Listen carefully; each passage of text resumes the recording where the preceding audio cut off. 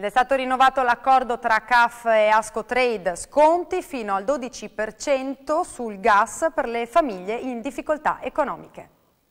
100 euro eh, in, in un bilancio familiare in una fase di crisi sono comunque soldi importanti. Rinnovato l'accordo tra i CAF di CGL, Cisle Will e Ascotrade per offrire sconti in bolletta ai clienti in condizioni economiche più disagiate, quelli con ISE inferiori a 20.000 euro nel 2014. Sconti sui consumi del gas di oltre il 12%. Sarà Ascotrade a comunicare in bolletta la possibilità di ottenere lo sgravio. I clienti a quel punto potranno beneficiarne presentando una domanda dopo aver certificato ai CAF la propria situazione ISE.